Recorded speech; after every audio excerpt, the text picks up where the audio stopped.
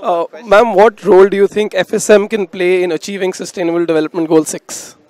Sharing of information, making sure that uh, we all adhere to the common norms and standards, and uh, mobilization of civil society across uh, the globe. I do believe that uh, FSM can do that uh, great work, as well as uh, embracing innovation.